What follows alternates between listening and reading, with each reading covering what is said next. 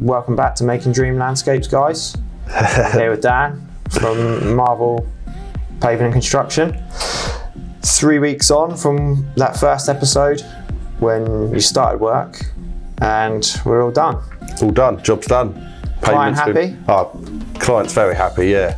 I mean, day to day they would pop out during the day and they'd be impressed with even just our preparation work when we were digging out. And then once we actually got to do some construction work, every day they'd come out and say they're happy. So before we'd finished, we knew they were happy really. Yeah. Which is good. It's nice to give them that bit of confidence from day one that they're in safe hands.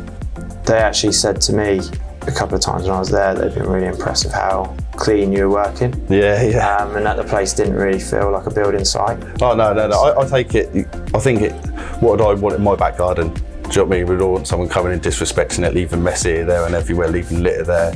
So I try and treat it like it's my job in my back garden. When um, the viewers sort of have last seen us, you just finished the, the chessboard, so we had that time lapse of the chessboard. Okay, yeah. Uh, since then, you've you obviously completed the surrounding bits of paving around there, and you've carried out points on the property. Yep. Um, talk us through your ideas behind pointing, what you did to this property, what your mix was like, and what why you did it. I always try and go for the traditional method, sand and cement, over the new stuff that's all weather brushing stuff. Just because the finish slabs com- uh, complemented the house, and the house has sand cement mix. So yeah, we just did sand, sand and cement mix. Just to match up directly with the brickwork. Yeah, yeah, and again, just to get the strike It finish at the end, and then leave it a while, sweep it off, and that finish should be there for as long, long as the paving. And like you say, it'll match now, flow completely from the Yeah, yeah. I mean, before the paving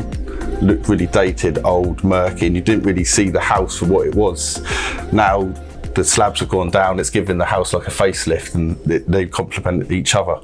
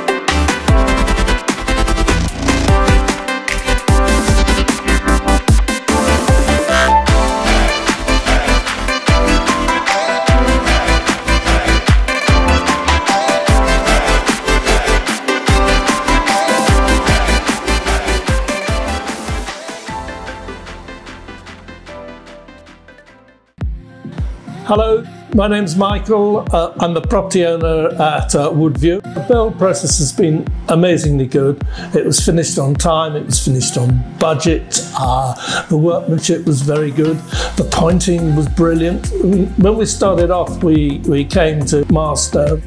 They recommended Dan to do the job. That was a big thing for us to have somebody recommended to do the job. So, for your from your company's point of view, that was really good for us.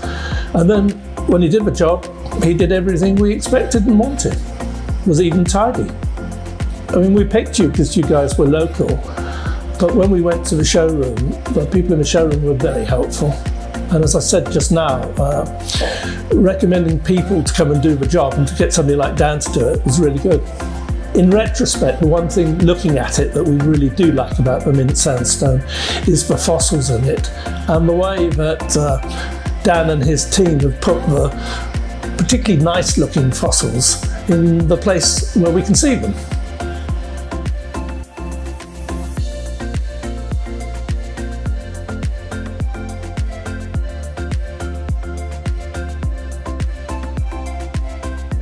How have you found it working with us on, on this job and anything you wanted to sort of highlight or pick apart and say, actually, guys, you need to be.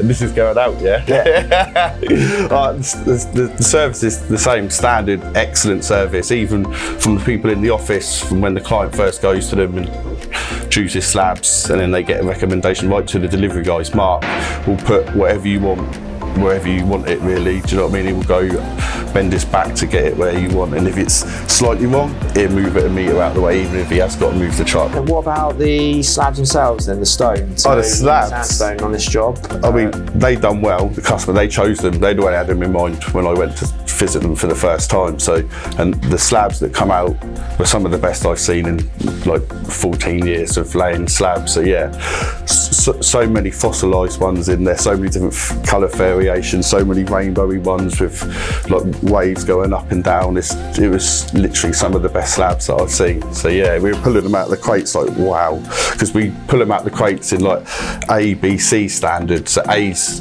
the flattest, the prettiest looking, and that will go somewhere where they're going to have a table and like see them or outside a window where they will see them. Then there's B, which are sort of all right, and then there's C, that which we keep. They're the ones that have got the natural highs and lows, which they, they it's natural paving, so they're there. So we'd put them into a C group, and they'd be on a footpath or somewhere out of sight where you wouldn't see it from the main area. So yeah, when we were pulling them out, it's like, well, these are just all A's.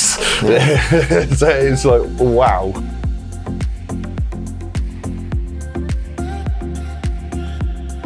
Uh, I think I probably know what you're going to say to this one, but highlight of the job for you? Uh, uh, probably the chessboard. so yeah, I mean the chessboard looks really good. It looks really good. I mean with the black limestone, it's look as far as you can get from from fossil. Gone outside with 900s linearly, like, like half bonded, so it, it makes it pop.